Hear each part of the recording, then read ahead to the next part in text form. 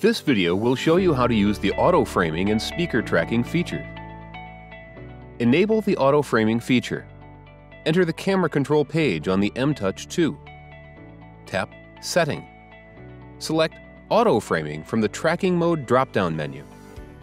Please note that when the auto framing is enabled, you cannot control the camera or use its preset.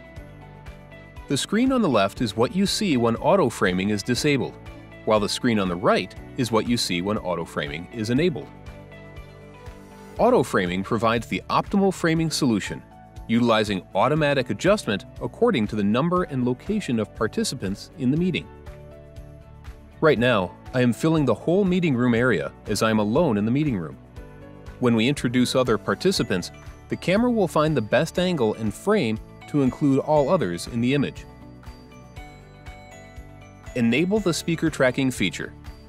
Enter the camera control page on the M-Touch 2. Tap Setting. Select Speaker Tracking from the Tracking Mode drop-down menu.